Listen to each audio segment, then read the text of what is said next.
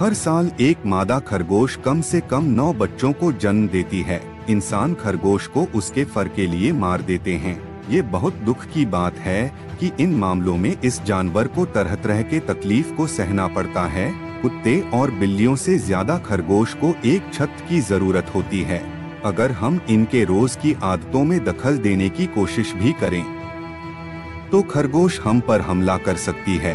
खरगोश सबसे ज़्यादा फुर्तीले भोर के समय में और शाम के समय में होते हैं, बाकी के समय में वे आराम कर रहे होते हैं।